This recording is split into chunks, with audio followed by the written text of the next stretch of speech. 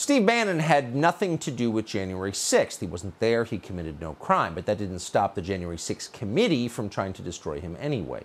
Today, Bannon was sentenced to four months in federal prison at the request of that committee. As Congressman Matt Gaetz has pointed out, the Department of Justice official who prosecuted Steve Bannon, a man called Matthew Graves, is a partisan Democrat.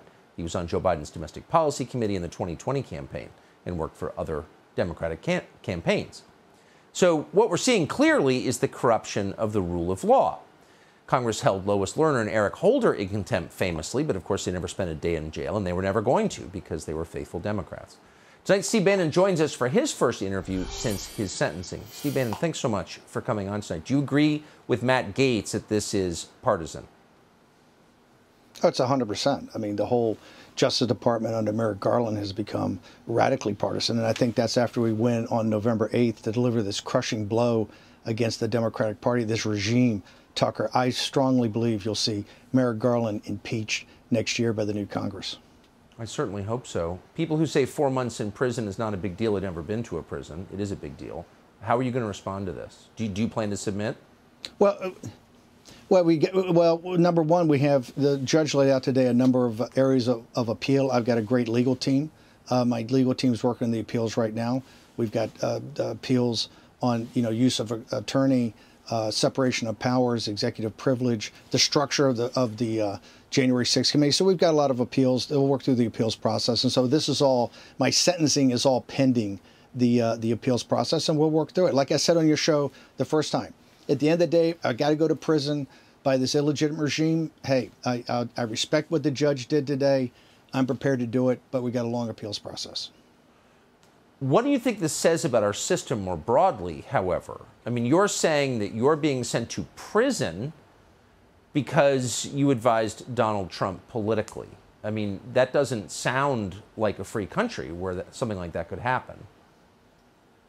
It's not free right now. You see this in the, whether it's the FBI rolling up uh, individuals praying in front of abortion centers or designating parents, going to parents' rights at uh, school board meetings for parents' rights as domestic terrorists. The Justice Department is completely and totally out of control, and the FBI is out of control. That's why I'm a big believer in defund the FBI. Use the appropriations process to defund both these apparatuses until they come to the table and we start cleaning up the rat's nest. I think the only way you're going to do it is you got to start at the top. We got to impeach Wray and we got to impeach Merrick Garland after full investigations. I think Merrick Garland can be uh, impeached on the southern border. I think he can impeach by what he's trying to do to these parents, uh, the parents' rights movement.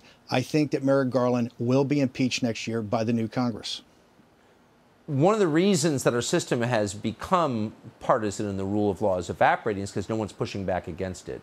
Are you satisfied with the response from elected Republicans to what's happened to you? Is anyone sticking up for you, do you think?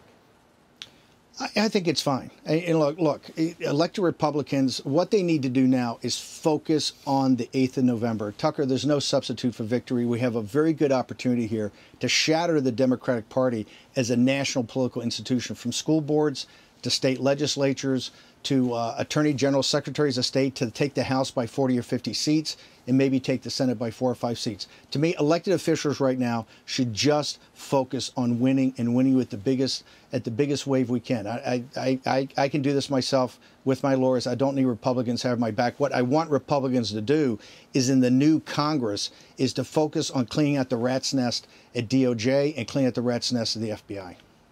If you're Lois Lerner or you're Eric Holder, both of whom committed, uh, from my read, actual crimes against the country, unlike you, you have not been accused even of doing that, and both of them skated on contempt charges, uh, do you think they're ashamed?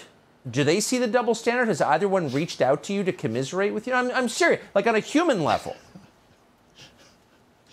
No, uh, look, the, the, as you know, the city is so partisan. This process now is so partisan, and they are some of the most partisan people, especially Eric Holder.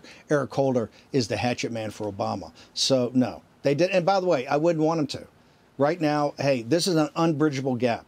You have the Republicans and the MAGA forces on one side. You have these radical Democrats on another. You see, this is not rule of law. It's, it's like a banana republic. You can't compromise in this There's no substitute for victory. We have to win massively on the 8th, and then this new Congress has to really go and enforce the rule of law. And the way you enforce the rule of law is start serious investigations, not political, serious investigations, Tucker. And after those investigations, start bringing articles of impeachment and throw these bums out, whether it's Mayorkas at DHS or Garland at the Attorney right. General, and who knows where it ends. Yeah, who knows where it ends is right. Steve Bannon, good luck. I'd be, I'd, you don't seem worried. I'd be worried uh, if I were you. You're, you're a brave man, and I appreciate your coming on. Thank Not you. worried. Thanks, Tucker. Subscribe to the Fox News YouTube channel to catch our nightly opens, stories that are changing the world and changing your life. From Tucker Carlson tonight.